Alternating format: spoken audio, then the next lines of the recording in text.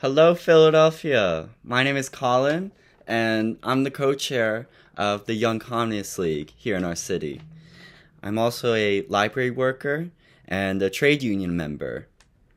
Now, if you haven't been paying attention, the 24, 2024 elections are already underway. Tens of millions of people have already cast their ballots, and you have two more days to vote early at City Hall, at the Commissioner's office, or at one of the satellite election offices throughout the city.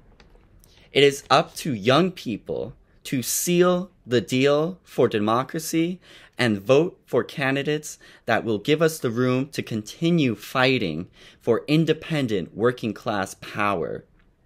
Election day is one week away, which means that the time is now for us young people to go all out to defeat Donald Trump and the billionaires and white supremacists he threatens to wholly unleash on us.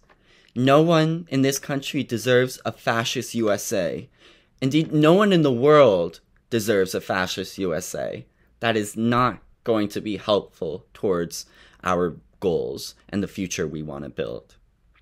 There is no time to think we can defend ourselves by running to the hills. We need to confront them now. This week, put your words into action by signing up with progressive organizations to door knock and speak with working people about the future you'd like to see. You can also phone bank or text bank if you're feeling shy. And when you commit to something, invite a friend to double the impact. And trust, after election day, we, the Young Communist League, will still be doing the work, putting our nose to the ground, and organizing.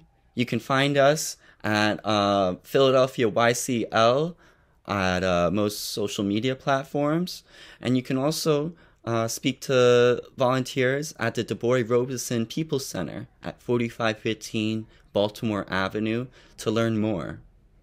All right. Forward to victory. We are not going back. Thank you.